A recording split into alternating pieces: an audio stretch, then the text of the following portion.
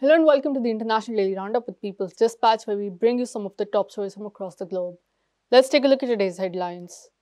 Turkey's chief prosecutor files lawsuit to disband pro Kurdish People's Democratic Party. Student workers mobilize for fairer working conditions in universities across the US. Ecuador's presidential candidates launch campaigns ahead of runoff elections. Moroccan farmers protest against eviction from border farmland by Algerian government. Student protests against financial exclusion and police violence intensify in South Africa. Turkey's chief prosecutor has filed a lawsuit in the constitutional court seeking to disband the pro-Kurdish People's Democratic Party or HDP. The prosecutor has accused the party of having ties to the banned Kurdistan Workers' Party or PKK. The indictment was issued on March 17, the same day the parliamentary membership of an HDP deputy was revoked. Omar Faruk was dismissed for supposedly carrying out terrorist propaganda, he had put up a post on Twitter in support of peace talks between the government and the PKK in 2016. The post carried a link to a PKK peace proposal. He is also a prominent human rights lawyer. A lower court had sentenced him to two years and six months in prison.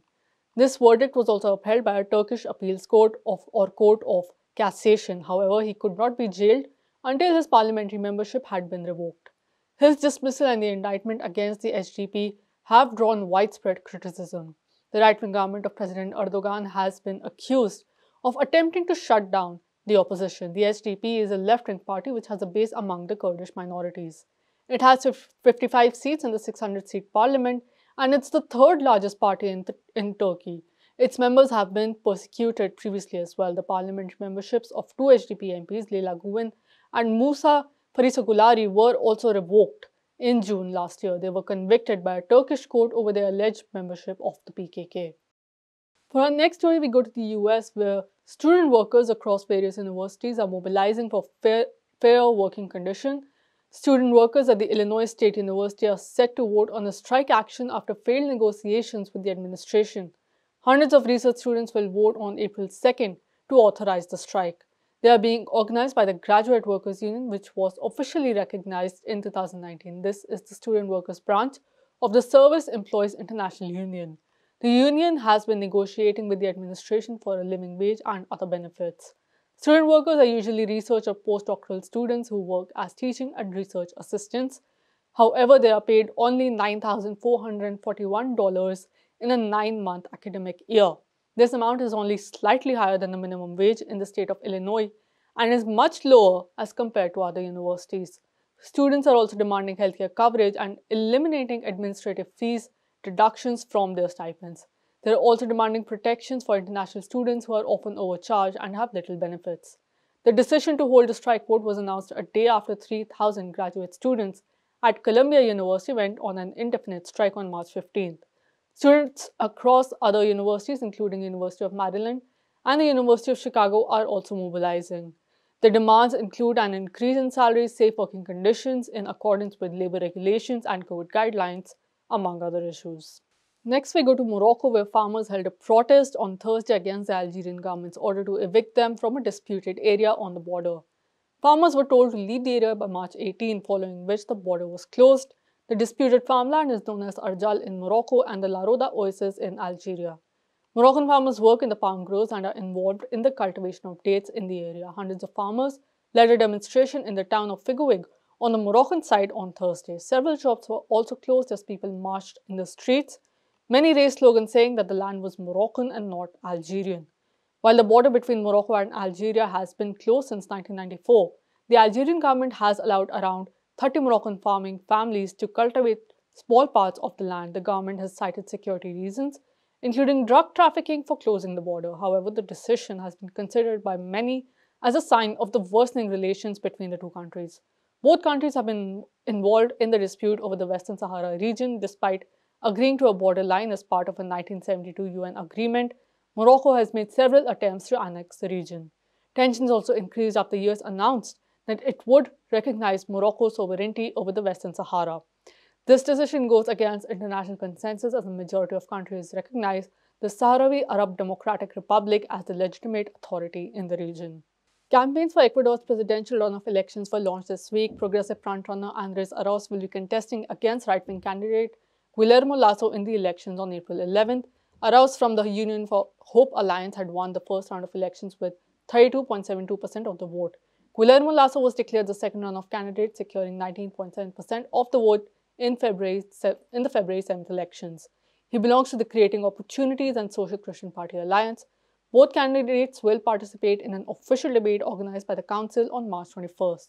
The democratic electoral process in Ecuador has witnessed numerous disruptions over the past few months. This included an agreement between US-backed second-place contender Yaku Perez, the Electoral Council, and the Organization of American States. The agreement, which was later rejected, had called for a partial recount of votes.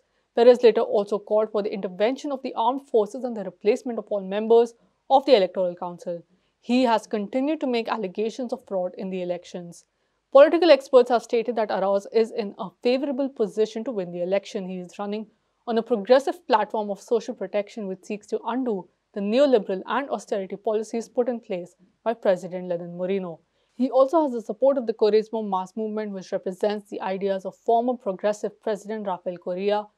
For our final story, we go to South Africa, where protests have intensified following police violence against university students. Students at the University of Witwatersrand, or Wits University, had started protesting against financial exclusion on March 4th. As the protests continued, the South African police services were deployed to repress the crowds.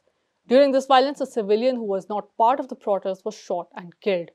Mthokozisi Tumba had been in the area to visit his doctor when he was shot. Following his death, students have intensified their demands for a clearance of students' historical debt and an end to police brutality against protesting students.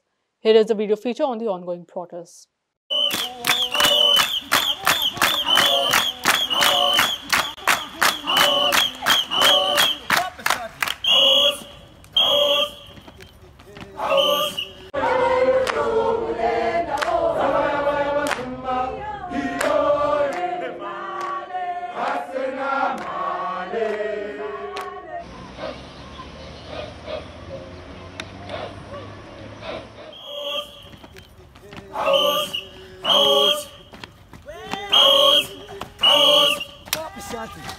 This series of protests kicked off on the 4th of March 2021 when the Wits Student Representative Council took to the Flower Hall building to halt all registration procedures for first year students and returning students alike.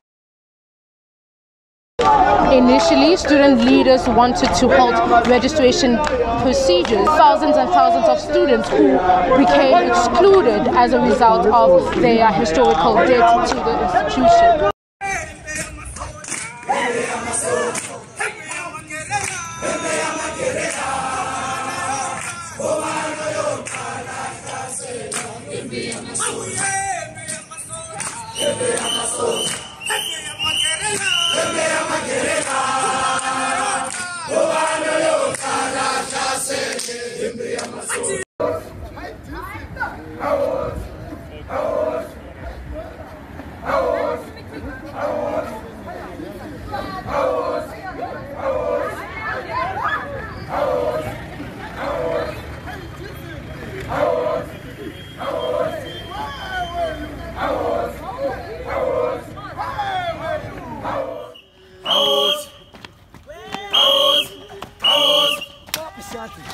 However, as it stands on the eighth day of the demonstration, the institution still hasn't addressed the students and really tried to meet their demands.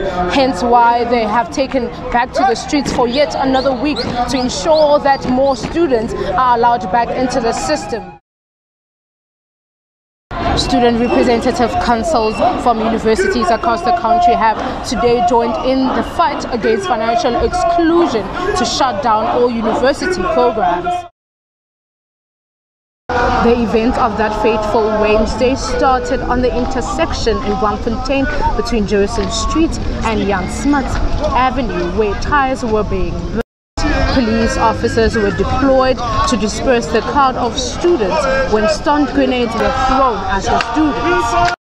Yet again on the eighth day of the demonstration against financial exclusion, the protest is back on that very same intersection where it all started.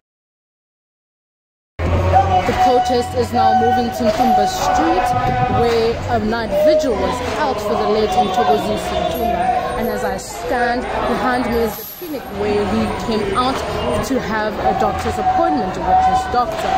This, as I'm standing right now, is the spot where he took his last breath. In his media briefing, the, the institution's Vice Chancellor Zeblon Vilakazi has clearly stated that they are not in any financial uh, position to continue funding or rather helping uh, students that are in need of the financial assistance because then it will mean that they will not continue sustainably financially. Uh, how do you feel about this? So I, I'm actually of the of the view that they are, they are, they are not for us. They are clearly not for us. For them to say that they're not, they're clearly not for us. Number one, there is a surplus that has remained that remained that could assist all these 6,000 students. They gave themselves bonuses of about 20 million, and it doesn't make sense for them to give themselves uh, bonuses for other students who haven't registered. So to the, for them to say that they don't have money is a problem on its own. But also further, they must come to the table with us and say, okay, because we don't have money as they claim, they must say, okay, we're willing to take you, uh, you students and comrades, to the table with national government, along with other universities, to start a conversation of policy change, to see how we can restructure the policy to accommodate every, each and every individual who qualifies to be at the university. I mean, it has already been a week, over a week now of protests, and it doesn't look like anything is materializing on the side of your demands. What's the way forward from, from today onwards and rather this week? So, things have actually materialized. If you look at UCT, they responded according to the events that happened here in Braamfontein. They haven't materialized on our side, as you say, as Wits, but I would like to believe that we are also assisting other universities by having this demonstration, right? But we, we, we we, we want them to take the conversation further and say that, okay, because uh, you, you comrades have this problem, let's come to the table and then renegotiate everything from the beginning. Because at this point, we have students who are holding the ground, will continue to hold, holding the ground, even if it takes us a month. We'll continue closing down businesses to ensure that the economy also has the shake, because the economy is the spine of the country. If the economy doesn't move, the country also doesn't move. So we'll continue closing the economy and ensuring, ensuring that our, uh, our demands are met accordingly. As you've heard, the Wits SRC is not backing down. The students here in Braamfontein are also not backing down as more colleges have joined in on the protest. Uh, more protests will follow and will continue for the duration of this week.